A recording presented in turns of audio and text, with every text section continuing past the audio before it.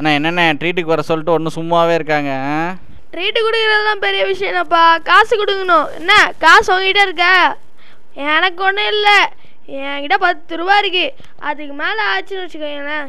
நீங்கள் தான் காசு என்னண்ணே பத்து ரூபா வச்சுட்டு ஒரே சீன் காட்டுற.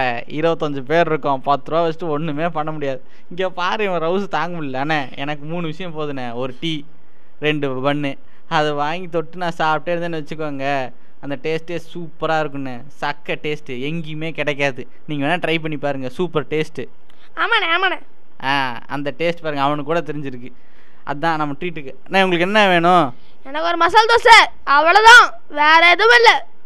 ஆ மசாலா தோசை போதுமா? எனக்கு என்ன? சரி டேய் பொரியா டேய் உன்னே தான் என்னடா சாப்பிடுவ? ஏதாச்சும் கம்மியாக சொல்லு. பரோட்டாண்ணே. என்னது? உனக்கு ஒரு மசாலா தோசை ஒன்றே ஒன்று தான் உனக்கு மசாலா தோசை தானே சொன்னேன் இவனுக்கு பரோட்டா. ஆ. ஓ. ஐயோ ஐயோ.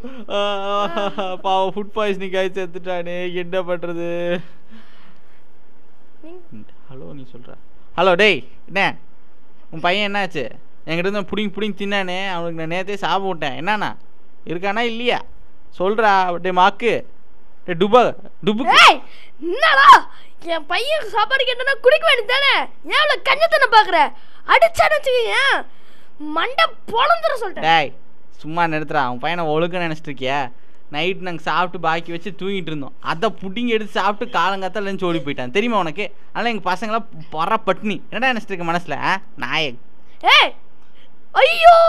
ஏய் பார்த்துக்கோ உன் பொண்ணு தான் வந்து எங்களுக்கு சாப்பிட்லான்னு வந்துச்சு. நாங்கள் அவன் பார்த்து அலர்ட் ஆகிட்டோம் ஓ அப்புறமா பிடிச்சி கட்டி வச்சுருக்கோம். உனக்கு வேணும்னா வந்து அதை கூட்டு போயிட்டு எங்களோட மெஸ் அக்கௌண்ட் எல்லாத்தையும் க்ளோஸ் பண்ணி எல்லாத்தையும் ஃபைசல் பண்ணிட்டு மதியானம் சாப்பாடு வாங்கி கொடுத்துரு. அண்ணே இங்கே பாருண்ணே.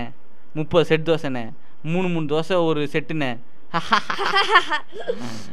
அண்ணே ஆனால் ஆறி போச்சுண்ணே. என்னண்ணே பண்ணுறது சாப்பிட்லாமா? அண்ணே ஆறின தோசையாக இருந்தாலும் ஒரு தோசை மட்டும் சூடாக இருக்குண்ணே. அது எப்படின்னு தெரியலண்ணே. ரெண்டு தோ அஞ்சு தோசை சாப்பிட்றலாண்ணே நம்ம. ஆ. பரவாயில்ல. ஆரி சாப்பிட்டாலும் சூடாக தான் இருங்க. இல்லைண்ணே. சூடு தோசை தானே டேஸ்ட்டாக இருக்கும். என்ன இருந்தாலும். பாம்பேல கூட அப்படி தானே நான் சூடாக அப்படியே திருடி சாப்பிட்ருவேனே ஒரே ரவுஸாக இருக்குண்ணே. காசு கட்டாவே எடுத்துகிட்டு வந்துடுவேண்ணே நீங்கள் தான் நீ என்னப்பா இப்படி பண்ற? நான் அதோட ரூஸ் பண்ணி எல்லாம் பண்ணிருக்கேன் இட்லியே திருடி இருக்கும்ல. அண்ணே திருடணுண்ணே. திருடி சாப்பிட்லாண்ணே. மாட்டிக்காத வரைக்கும் எல்லாமே சூப்பராக இருக்குண்ணே. சூப்பராக இருக்குண்ணே. திருடி சாப்பிட்டு